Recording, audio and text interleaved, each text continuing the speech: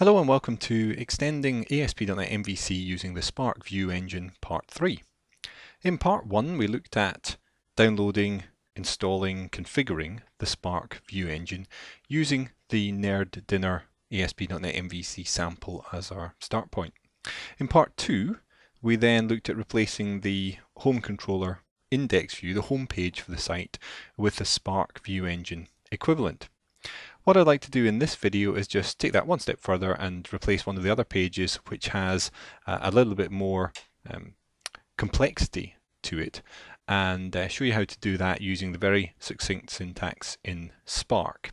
We've already in part 2 set up the master layout, the equivalent of the master page, and also our partial view for the login status control. So I won't go over those things again. If you're interested in the equivalents to master pages and the equivalents to partial views in Spark, then go and have a look at part two of this video.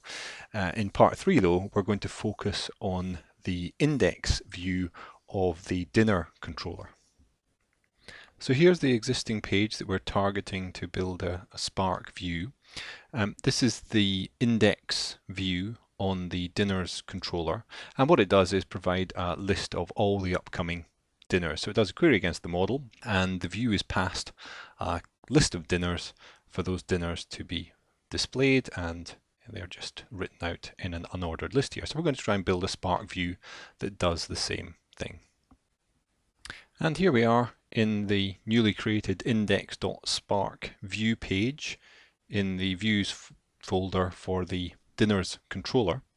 And what I've done again is just copy the markup from the web forms equivalent, the index.aspx page, into my Spark page as a starting point. So what we need to do is first of all get rid of a good amount of this stuff and set our content to be main content so this ties in with the master layout that we created in part 2, which references this content element uh, that gets injected into the uh, into the master page.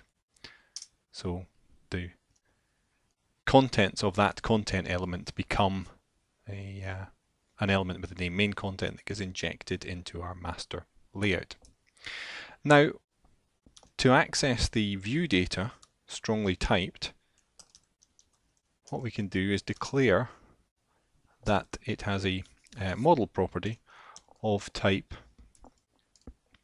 now let me get this right, nerd dinner helpers paginated list. The paginated list is a special type as that's part of the nerd dinner project that is a, a helper class for modeling paginated lists and it's a generic paginated list of dinner objects.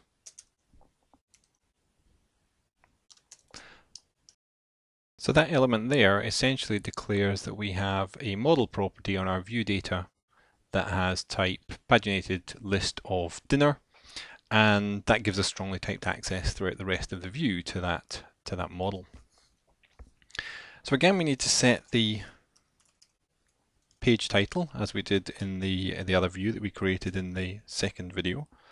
And we'll call this one upcoming dinners. And again include Spark on there just to make sure we know it's the Spark View engine that's rendered it and we'll render the title in our H2 tags as well.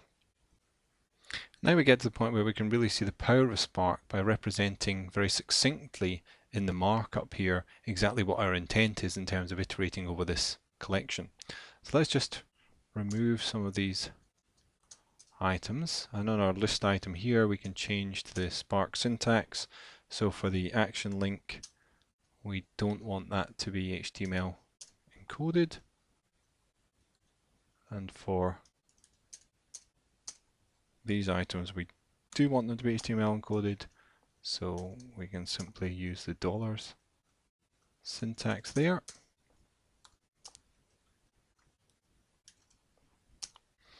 So now we have the list item, what we need to do is express the fact we want that we, we want one of these for each element in our model. So we can simply say each equals var dinner in model and that says give me one of these list items for each element in the collection represented by model.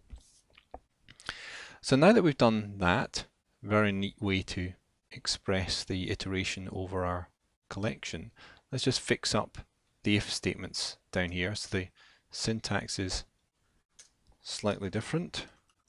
We say if condition as previous page, we'll get rid of that. Same for this one. If condition equals has next page, get rid of that. We need to get rid of these and replace them with closure closing if elements and the same here. And then we just need to fix up our route links, changing them to the Spark syntax as well.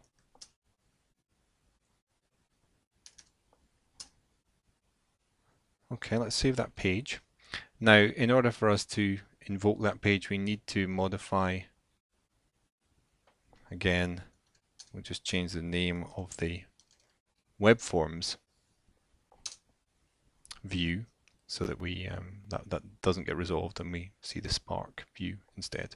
So let's run that page, or run the site rather, and then navigate to that page. So we view all upcoming dinners.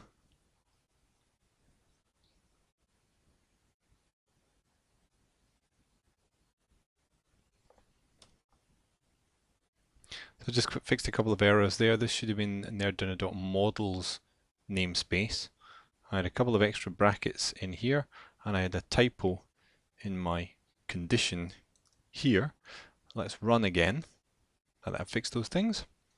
And here's original page. Click on view all upcoming dinners and sure enough this is being rendered by the Spark View engine and it looks identical to the original page.